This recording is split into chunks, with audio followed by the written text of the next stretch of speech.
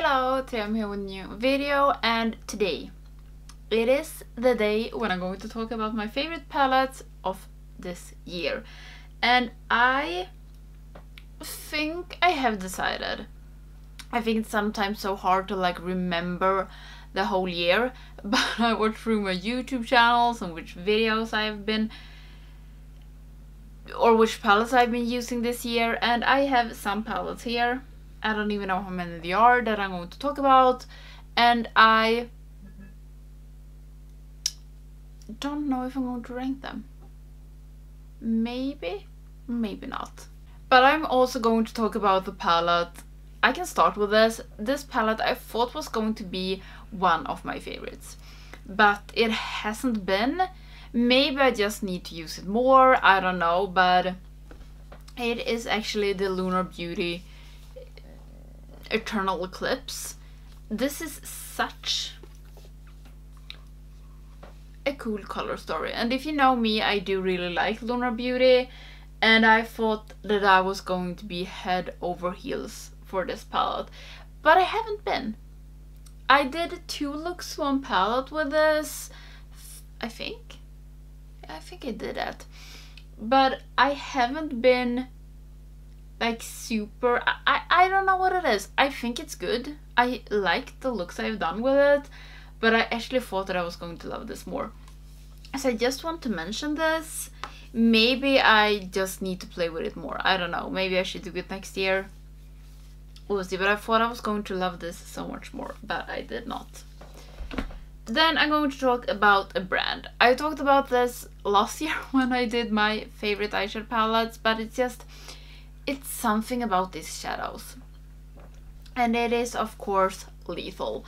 I have a lot of lethal palettes and shadows, and uh, I can leave my playlist up here when I did the lethal week. But I thought that I can show you this palette that is Velvet Dusk. It looks like this. This were their 90s inspired grunge palette. Ines is over there. That's what I'm looking at.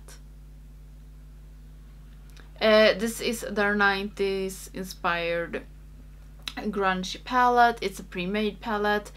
And this I start to like now in the end of the year, but Lethal has always been a special brand to me. I just love them and I thought that I can show you one of my absolute favorite shade from Lethal, which is this one. This is Vertex Maybe I could swatch it. Is it's it is a shimmery green shade and I have done some amazing looks with this and it's just such a cool shade. It is absolutely my favorite shade from Lethal.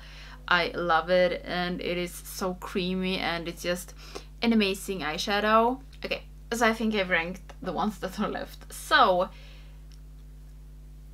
Kaleidos Flower Punk. This palette, I did not love it that much the first time. The second time, the third time, then I started to love it.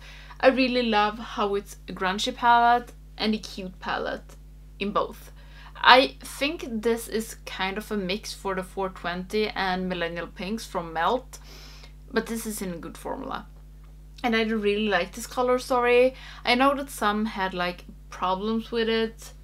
Is it a fun bright pink palette or is it a grunge palette? I love that it is a mix. I think this is such a fun palette to play with and these colors down here I of course love them so much. So this I I'm so happy that I really gave it another chance and was like, okay, I'm going to like this palette. I'm going to really, really try. And I did. Another palette that maybe I didn't give the best review, but since I did a review on this, I have used it more. Um, I have done some looks. I have not filmed the looks, but I've had them in videos.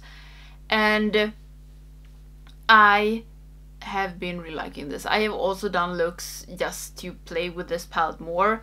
And that is the Meet Me in the Underworld by Louis Cosmetics. And this palette, first of all, it has an amazing front of the palette and the color scheme. It is amazing as well. Bless you. Uh, this did sold out the first time. I think I ordered it on the second restock. First, like nobody know, not many know who Louis Cosmetic was. Then this palette came and people were amazed. And I wasn't amazed the first time. Then I did Looks one palette. I wasn't super amazed then, uh, but I was more amazed for each of the looks. And then I used it outside of YouTube and just been sitting down doing a makeup and I do really really like this palette now. Not all the shimmers are the best shimmers, but like this shimmer is amazing and this shimmer is also really good and the mattes I do really really like them. So this palette I am happy that I continue to use it even though I didn't love it because now I do really really like it and I think I'm going to use this a lot next year because it has some amazing shades and I just love the whole vibe of the palette. It has everything that I like in a palette, I think. Then I have a lot of collab palettes and I have been thinking like, okay, do I pick those palettes because they are collabs with people that I have as friends and that I followed. Maybe, but also I like their style and I think that is also why I do like this palette that much. So next in line is Giant Wolves by Oden's Eye and Annette's Makeup Corner. And this was the first palette I've tried from Oden's Eye. And the color story of this amazing. It's so dark and just I love that Annette didn't put in a lot of like lighter colors. I do really love this. And I really do like the shimmers. And this shimmer amazing. I did three looks one palette with this one. And I just did love all the looks I did with it. And my first impression I did like it then as well and I do really love that it's it is a dark palette. There is there is some light colors like this one, but it is a dark palette and I think it's just fun that it has like a theme. It has a dark theme and I am so so happy that I decided to try Oden's Eye. So happy about that I have this palette. It is just an amazing palette. And the next in line is also a collab palette with Annette and Menagerie. And this palette, it's like the total opposite of this one. And that is one of the reasons that I really love this one. But also, this is a palette that is really easy to do looks with. And I have had a tough year. I need to stop say that because I say it in every damn video. But I have had a rough year. And this palette has helped me to do makeup looks. I did three looks one palette with this one and it was so easy to come up with looks and I do love that. I love that there is a matte blue and a shimmer blue. A matte pink and like this pinkish purple that goes together with both the pink and the purple and there is a green and shimmer and matte and these two shimmers. I do love to have a yellow shimmer that isn't gold one. And this is just such a fun palette and I really really did enjoy to do looks with this, my Free Looks One palette. It was such a fun video to do and I just think this is a really good palette and I, Menagerie doesn't have my favorite formulas when it comes to eyeshadows, but I do think it's really really good. The next Ecolab palette is like perfection. Um, I only wished one thing with this palette and that would be if it were bigger and that it's it's freaking bats with Shroud and Betty Bean. when this came out, I was like, I need to have it. And it took so, so long for me to get this palette. Like, I don't even want to know how long, but a little too long. Uh, they were getting too much more orders than I thought they were going to be, and yeah, but I got the palette and it was worth all the wait. I do love this palette. I do love Shroud. I think they do some of the best shimmer shadows out there and this is just a compact, cute, crunchy, cool, amazing palette. I really really love this one. I did a two looks one palette and and it's just it's like Betty Bean in a palette and I just love it and she inspires me so so much and I've just I love this palette. It has been one of the best palettes of this year even though it I got it last year but whatever. Then I have two palettes left and I guess that you might know which these two palettes are and this was actually so hard to like decide which one was my favorite for this year but I think I've made my decision so the runner-up is Side by Side by Nabla sorry but that is just how it is this is a neutral palette that is kinda cool tone I do love this palette it is amazing I don't know how many looks I've done with this. And I don't know how many times I have done the same look. I take half time in my crease, deepen it down with a beauty mark and take this on my outer half and then do a cut crease with Ray of Light. That is an amazing look. I have done it so so many times. I have also sometimes taken burnt sienna instead of beauty mark. I had it on Christmas and I do love this palette. It is an amazing neutral palette, but it is kind of fun.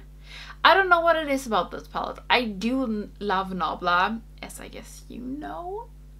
And I do really, really love this palette, even though it's a neutral palette.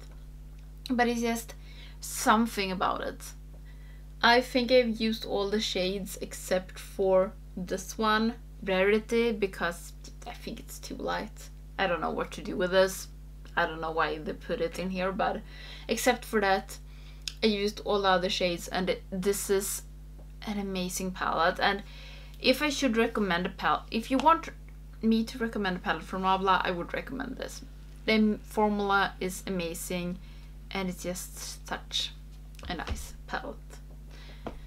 And then, the best palette of this year, what I think, and I think you know which palette it is and it is of course the Club Nebula palette from Kaleidos and Angelica Nyqvist. It's what I have on today.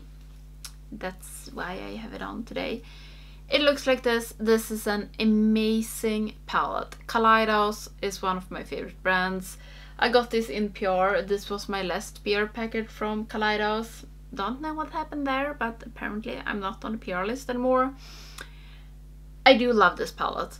I have done so many looks. I've used this so much this year and it has really made me want to do looks and it is such a good layout. The color story is so good. You have like three finished looks in each of the rows and it has helped me a lot this year when I don't know what to do and I'm just so happy that I got this palette in PR. I would have bought it if I didn't get it. And I think I think it's an amazing palette. And I think this is going to be if you know with like Kaleidos, they did a deep sea luster palette, their first palette that was like out of stock when they started to grow and it has been one of these like unicorn palettes that everybody wanted I think this might be Kaleidos' new unicorn palette. That is just my opinion, but it is an amazing palette and I know that some are really bummed out that I didn't get it, but it's an amazing palette and it's it is the best palette of the year. I love it. And it has just been an amazing palette to use. And yeah, that was actually all my favorite palettes of this year. I think I'm happy with this. I think it's just, yeah, it is so hard to know like in the end of the year what have I been loving in the beginning of the year. So, so hard. But yeah, this is what I've decided on. I might change my mind tomorrow. Who knows? I don't know. And I think maybe next year that I will try to make, to talk about palettes a little bit more, palettes that I really like. I'm going to try to do that more often, so yeah, I have something to look, look back at maybe.